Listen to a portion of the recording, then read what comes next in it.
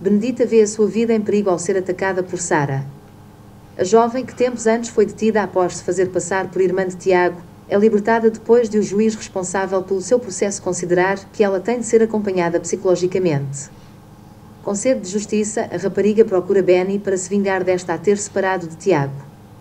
Tudo porque foi ela quem a desmascarou depois de ter ido à instituição onde ela estava internada e perceber que a jovem sofre de esquizofrenia. Quando Benedita está sozinha no bar T, Sara aproxima-se dela, de mansinho, tira um saco de plástico do bolso e enfia na cabeça da rival, pronta para a sufocar. Pensavas que te safavas? Pergunta completamente descontrolada. Tiraste-me o Tiago, eu vou tirar-te tudo o que tens, ameaça. Ele é meu, ouviste?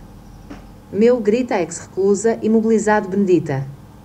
O momento de loucura é interrompido pela chegada de Nelson, que ao ver Benny em sofrimento, atira Sara com violência para o chão. A vilã ainda pensa em atacar o PJ, mas este puxa da arma e aponta-a na sua direção.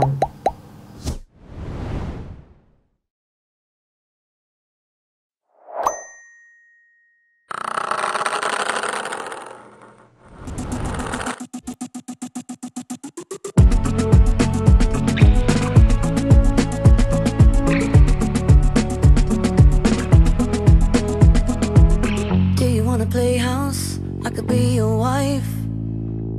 Go meet your mom in a dress too tight.